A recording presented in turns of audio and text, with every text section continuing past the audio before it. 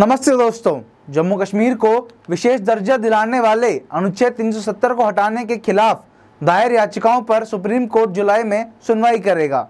CJI N V Ramana ने कहा, छुट्टियों के बाद इसे देखते हैं। यह मामला पाँच जजों की बेंच का है। हमें बेंच आदि का पुनर्गठन करना होगा। गौरतलब है 5 अगस्त 2019 को जम्मू कश्मीर से अनुच्छेद 370 हटाया गया था। और भी अपडेट्स के लिए हमें लाइक शेयर सब्सक्राइब करें।